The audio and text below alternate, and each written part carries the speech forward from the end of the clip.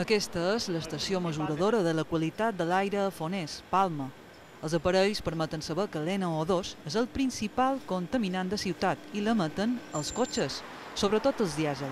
A la pandèmia les emissions baixaren i encara no han recuperat valors previs. Aquests valors no arriben a la meitat dels límits legals, encara que hi ha diferències per barris. La zona d'Aragó i Eusebi Estada són dels llocs amb pitjor qualitat de l'aire. Que estem a una, a una qualitat de l'aire bona, relativament bona, o regular i bona, però que evidentment hem d'aspirar a, a millorar-la. La segona principal font de contaminació de Palma són vaixells i avions. Per això el govern vol arribar a un acord amb l'autoritat portuària, AENA. Aquest pla proposa la redacció de plans de millora de la qualitat de l'aire i de mobilitat sostenible específics tant per l'aeroport com per al Port de Palma.